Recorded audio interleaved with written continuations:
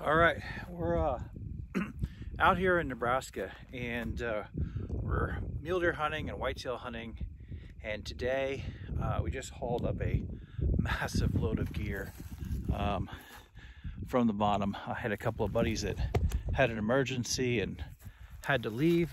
And uh, you do what you do, you haul up the gear. So I hauled up the gear today.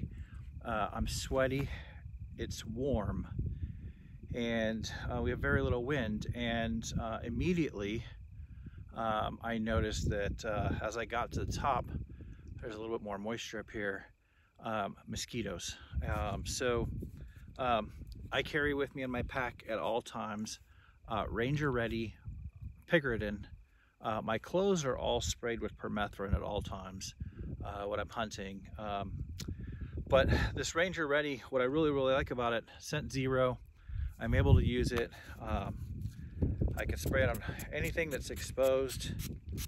Um, I really like that the sprayer is easy to activate and that it's in a small size. Um, it can easily fit my pack.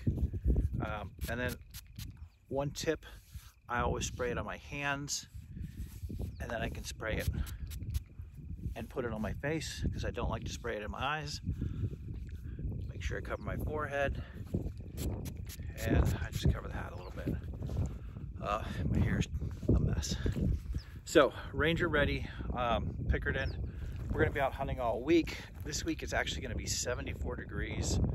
So tomorrow while we're in the whitetail woods, uh, I expect it's gonna be mosquito heck.